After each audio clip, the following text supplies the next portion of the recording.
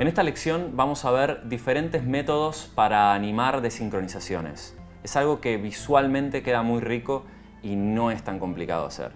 ¿Vamos? La mejor manera para desincronizar una animación como esta ya lo había explicado en un tutorial en Grayscale Gorilla, pero ahora lo contaré en castellano y además creo que es más compacto y fácil de entender. Vamos a empezar. Primero tenemos una animación, aquí este objeto. Pues luego lo que pasamos a hacer es, lo vamos a duplicar, y ahí tenemos. Aquí es donde vamos a hacer el proceso. Y este va a ser el resultado final. Bien. Pues primero que nada aquí tenemos todos los keyframes y este es el problema. Podríamos hacer perfectamente esto y entonces ya tendríamos el efecto. En cosas sencillas es bastante práctico hacerlo, pero cuando tenemos más objetos o queremos tener la facilidad de poder ajustar las velocidades, ajustar la desincronización entre cada uno de ellos, de esa manera sería bastante complejo. Así que vamos a borrar todas las rotaciones, ahora solamente se mueve uno. Y lo que vamos a hacer es llamar a un slider, lo ponemos en el cuadrado 1, que este va a ser el que controle todo, y le vamos a poner de sync, por ejemplo, de sincronización, apretando el botón derecho, editando el valor, le voy a poner que el máximo sea 2. Así tenemos, cuando hagamos esto, tenemos mayor precisión.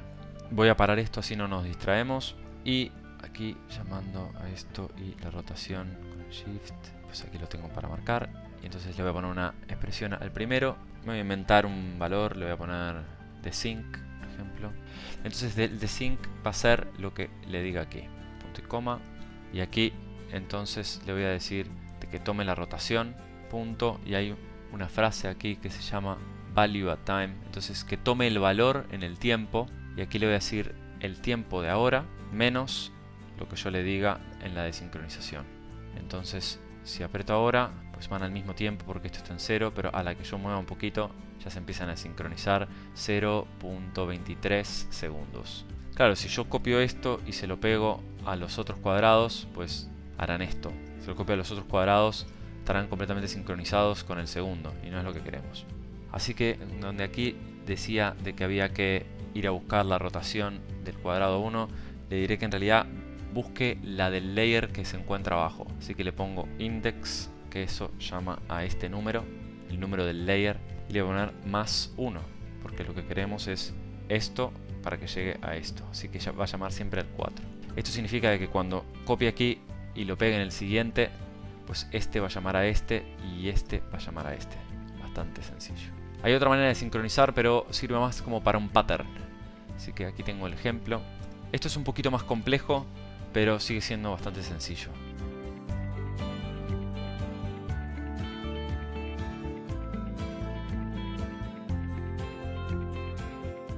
Vamos a empezar, voy a cerrar todo. Vamos a empezar aquí.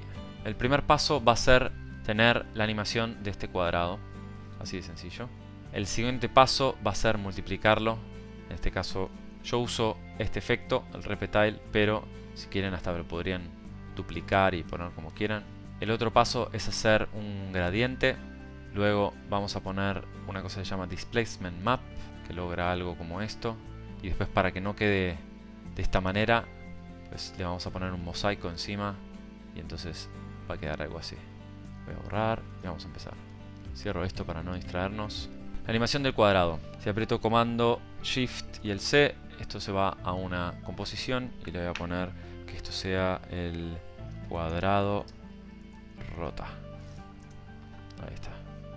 Vamos a entrar. Ahora estoy trabajando en 1000 por 1000 y lo que quiero es hacer más o menos 4 por 4. Así que serán cajitas de 250. Aquí sí, esto le pongo 250 y ahí tenemos este no tenía animación. Me había olvidado de poner la animación. Sí. Hacemos así. Perfecto. Vamos a dar un poquito de gustito para que no quede mal. Sí, perfecto. Listo. Ya que tenemos esto, voy a poner el anchor point en el 0, así luego cuando le pongo la posición en el 0 ya nos queda aquí y es más fácil con el repetile arrastrarlo aquí o aquí o apretar doble clic como quieran ya 250 más 750 es 1000 y más 750 para abajo y aquí los tenemos todos bien, hasta aquí fácil ahora, me gusta reciclar los adjustment layers esto es una manía que tengo pero no es tan necesario este será blanco, como aparece aquí, y este será negro.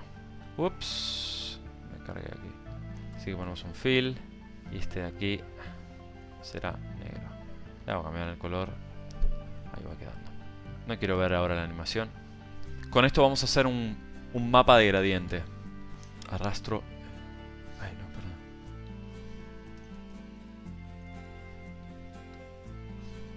Se podría hacer con una máscara, pero con el Linear Wipe uno tiene más control a la hora de modificaciones. Entonces, esto permite que de un 0 al 100, voy a hacer así, un 2, 30 frames, ser 100, que lo tenemos. Y le puedo modificar esto y le puedo modificar aquí también. Por ahora va a ser así. Vamos a hacerlo así. Así que ahí se mueve. Para que esto se pueda transformar en un mapa de gradientes, voy a necesitar también hacer una precomp. Y le voy a poner mapa. Gradiente. Vamos a cambiarle de nuevo color así. Tenemos otra cosa. Aquí tenemos los dos. Bien. Voy a importar de nuevo otro adjustment layer. Cuando nosotros lo importamos, es un sólido ahora, pero solamente apretando aquí ya es un adjustment layer. Aquí le voy a poner el time displays para que se vean mejor las cosas. Aquí está el cuadrado que rota, el mapa de gradientes que lo voy a ocultar.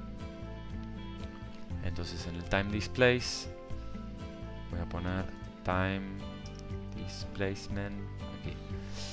Esto lo que hace es utiliza mapas de blanco y negro para modificar el tiempo. Así que aquí le voy a decir que tome el mapa de gradientes y al apretar, pues aquí vemos lo que hace, una cosa media rara. Porque está tratando de hacerlos rotar, pero todavía no tiene, vamos a ponerle aquí, poner un... Ahí está. Y ahí da como un efecto medio raro. El problema de esto es que no es muy preciso, así que la animación no se conserva en la velocidad que nosotros teníamos. La vamos a hacer muchísimo más lenta, pongámosle por aquí. Está medio a ojímetro. Y ahí va. Pero claro, nos está deformando el cuadrado y en este caso no quiero que sea así. Así que simplemente me voy a meter en el mapa. Voy a poner otro adjustment que va a ser mosaic. Yo sé que ahora pensarán por qué en cada uno le cambia el color. Es, es una manía y es una técnica que ya uno la, la tiene asimilada y eso es bueno. Cuanto más trabajemos así, más fácil nos va a resultar hacer proyectos eh, complejos. Así que aquí le pongo un mosaico. Tengo que transformar en un adjustment layer. Y como son 4x4, ahí lo tengo. Entonces ahora el mapa ya tiene otra definición. Y en este caso, entonces, cada uno de los mapas va a llamar al movimiento de cada uno de los cuadraditos. Así que al apretar, ahí tenemos el mapa de gradientes. En el caso de que no nos guste la animación, es solamente entrar, o queremos agregarle algo. por ejemplo, le voy a decir como que vuelva. Así que ahora va a ir para un lado y va a ir para el otro.